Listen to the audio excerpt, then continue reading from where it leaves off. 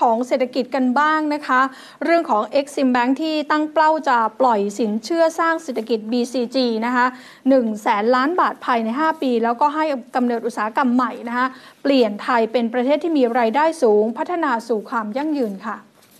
เรื่องนี้ทางด้านของนายรักวรกิจโพคาทรนะคะกรรมการผู้จัดการธนาคาร เพื่อการส่งออกและนำเข้าแห่งประเทศไทย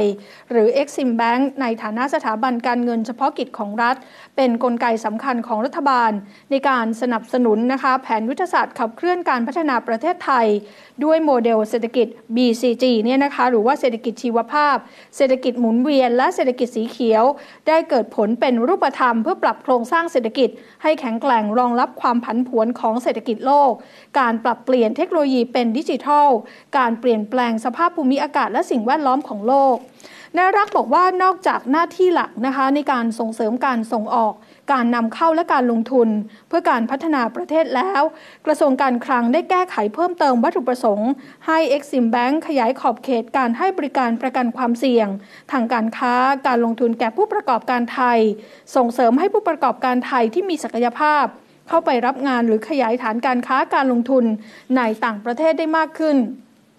ธนาคารจึงดำเนินธุรกิจเพื่อร่วมสร้างความยั่งยืนของโลก ภายใต้กรอบแนวทางการพัฒนาอย่างยั่งยืน ช่วยเหลือให้ผู้ประกอบการไทยแข่งขันได้ในเวทีโลก และบังคับใช้มาตรการต่างๆ ของประเทศคู่ค้า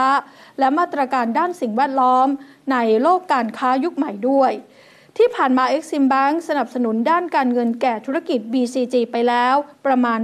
30%ของพอร์ตสินเชื่อรวมของธนาคาร หรือประมาณ 50,000 ล้านบาท ส่วนใหญ่เป็นการสนับสนุนสินเชื่อโครงการพลังงานทดแทน ทั้งในและต่างประเทศ มูลค่าเงินลงทุนรวมแล้วกว่า 3.7 แสนล้านบาทนะคะ ลดการปล่อยคาร์บอนในอากาศมากกว่า 100 ล้านตัน ซึ่งทาง Exim Bank นั้น ตั้งเป้าจะขยายสินเชื่อ ให้กับธุรกิจ BCG เพิ่มเป็น 1 แสนล้านบาทภายในปี 2570 เพื่อร่วมกับประชาคมโลก ลดการปล่อยก๊าซเรือนกระจกนะคะสุทธิให้เป็นศูนย์ส่วนประเทศไทยมีการตั้งเป้าลดการปล่อยก๊าซเรือนกระจกสุทธิให้เป็นศูนย์ภายในปี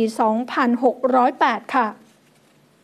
กรรมการผู้จัดการ Exim Bank ยังย้ำด้วยนะคะ บอกว่าธนาคารจะทำหน้าที่เป็นเครื่องยนต์รุ่นใหม่